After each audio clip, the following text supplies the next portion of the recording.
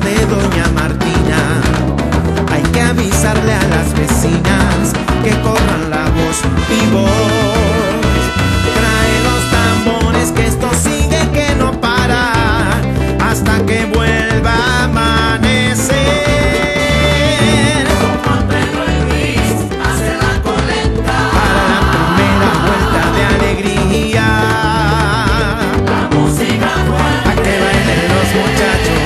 sonrían las muchachas y disfruten mamá y papá de un asalto de carnaval.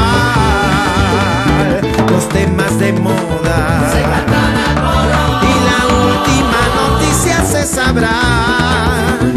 Lo que en todo un año no pasó, hoy puede pasar.